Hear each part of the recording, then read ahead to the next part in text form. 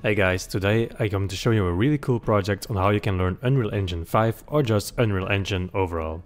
In your Epic Games Launcher, go to Marketplace and find the content examples. Here you have completely free projects with content examples about anything you wish to learn about Unreal Engine. It's completely free, it's about 5 gigabytes uh, in size and then you can download it, create project and then launch Unreal Engine. Once this is opened up, you get a range in the museum of items and different levels. So if you go to different levels, go to File, then open level and then you can see the different levels that you can choose from. But let's start with the first one here.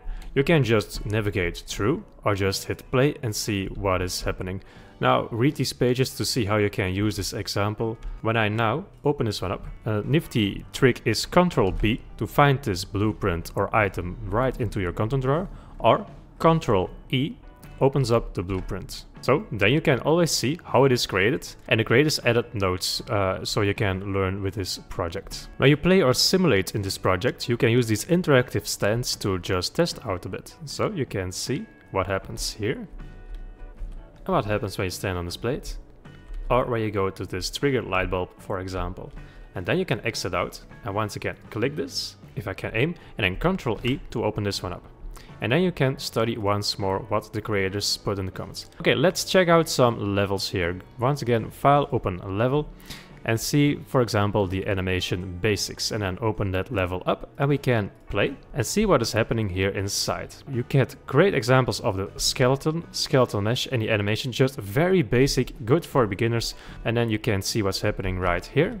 Exit out and then open up the one you want to check out. So for example, click here you can edit the blueprint, see how this is made up of the skeletal mesh for example. You can always go here to the map, see where it is, open this one up and then really go into depth and learn like this. Or also dive in the event graph and see how that logic here is made up. Another great one is Blueprint Communications. So this is the basics of any level or projects. So go into Blueprint Communication, check out what this does and how, for example, this button activates this target blueprint. So when you open this one up, you can see what happens here and then click on the other one here if you can aim and then see how this is all set up the construction script what happens when you overlaps for example all like this we already saw some parts of the chaos destruction unreal engine 4 but in unreal engine 5 it's completely integrated so let's have a look at this one so if you want to create some cool effects or see some destruction or effects in place you can come right here and see how they created this. Read the text, open the blueprint, Ctrl B, Ctrl E or find it in the content drawer. And then you can have a look at the chaos system here as well. Like, I really thought this one looked cool. Common user interface for menus and so for example, we again go here, you can test this one out and then see how this is created. Also there are these question marks, so when you click here, you can click on open help documentation and read them through. Some work, some don't, but you can also still open up uh, the widgets like this here. The IK rig is also pretty fun to check out, the inverse kinematics. We have an interactive environment, for example like this one. Unreal Engine just figures out where the feet and the rest of the bones align up.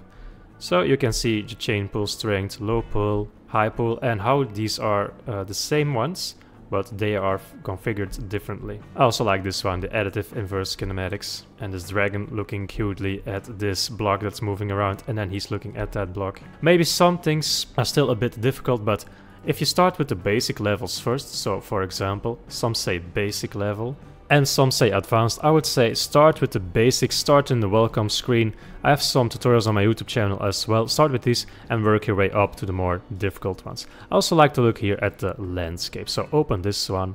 I don't save the select because I want to keep these ones as default so I can study them. Maybe I change something. So this is why I go here. So this is how a landscape is created. And then they use uh, spline tools here so you can create roads for a racing game, for example. And the last one here is about foliage. So how they added foliage in this. And you can also have a look in the level and then have a better look at how they created this one. You can also go here to select mode and then go to the landscape or foliage like that and then study how they did this. The Niagara particle system is also pretty fun to look at, so click on this one to open that one up. So if you look here at the basic hull, for example, you can see some basic particles and how they are set up. It's like magic. So for example, Also remember the number because when you exit your screen, you don't really see the same one here. So 1.3 for example. So you see this a bit different. Then click the icon and once more you can open with Ctrl E and then you get here the particle in this example. And also this is made with codes. And then you can really see how is this created. And you can also just enable some things, disable some things, change the values and then see what's happening right here. So for example, when I do like this, you see I already did something different. Ctrl Z to undo that one. Static meshes also is something you really have to work a lot with, so let's also look into the static meshes. These are your basic items inside of your game, so for example when I open this one up, this is a normal static mesh with just an object in your world. But what happens if you set it to movable and then you can read through and then open uh, this one up. Also UV mapping inside of Unreal, how does this look? Light mapping and so on. And then you can open up the different static meshes as well and just have a quick look at this one. So guys, this is a pretty neat project that I really wish you would check out, so that's why I showed you this one right here. So go ahead, download this project, it's not that big in size, but you get a lot from this, and you don't have to go through all it in once. You can also open up the documentation on the official Unreal Engine website and then you can find more about this project, how it's set up, what you can find inside. But I would just go to File, Open Level, see which basic ones you resonate with and have a quick look and try to reproduce them in your own games. More tutorials coming up soon on the YouTube channel, so make sure to subscribe to check these ones out. See you next time.